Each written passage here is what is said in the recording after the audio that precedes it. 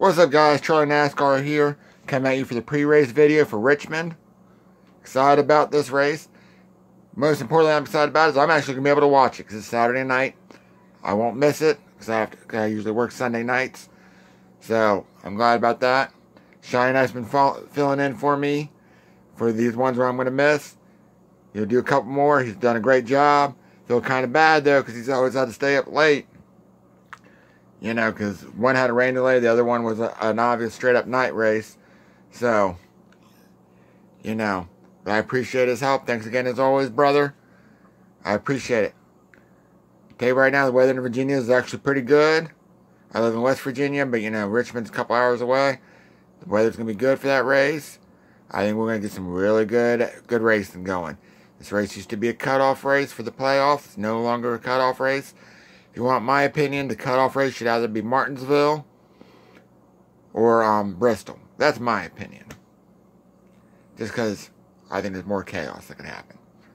Richmond's a short track, but it's not the same as it used to be because with the change up in configuration of the cars and new packages, kind of made different, but still good racing. It's still going to be a good race. I'm I'm looking forward to it. I'm all hyped up. Let's see what else. My friends Andrew and Deb, they both love going to this race. They've been going every year for, I think, at least 10 years. So when y'all watch this, let me know. And um, let's get on to the real reason why y'all watching this video, and that's the Pick 4 contest. Playing along and simple, you're going to win some prizes. Got from the rookie year of Jimmie Johnson and Ryan Newman, bumper stickers and um, license plate placards pretty cool stuff, man. Not everybody has those. I know people like diecast. Not getting the views to do diecast. If I start getting over 100, 200 views on these pre-race videos, I'll go ahead and go to Walmart and go get some diecast for you all. And throw those in the contest. I might do that for the championship anyway, for the last race, but, you know, that's what it's going to be. So anyway, play along simple for this. Before the green flag drops, get this picks in, in the comment section below or hit me up on Twitter.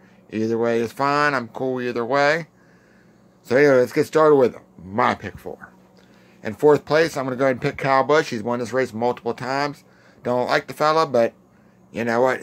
Probably is going, he's probably going to be in the top four.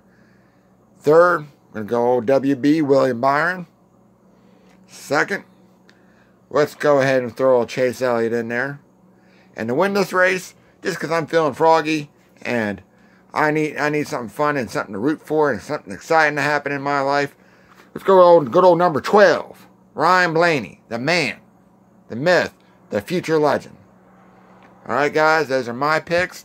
Don't forget, also check out my boys, JB Racing, Thor South, and Righteous Redneck for their picks. They do diecast giveaways on theirs. So go ahead and throw your picks on their channels. I know they do. Two of them do do top fives, and you got to put in a TBN number, so don't forget that. And I think yeah, they all do pick fives.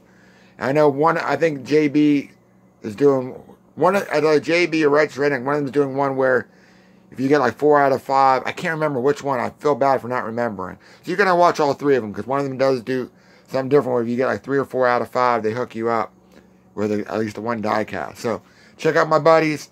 All right, guys. That's it for me. More importantly, guys, if you're a man don't paint your fingernails unless you're a rock star. I'm tired of seeing that shit on these damn millennials.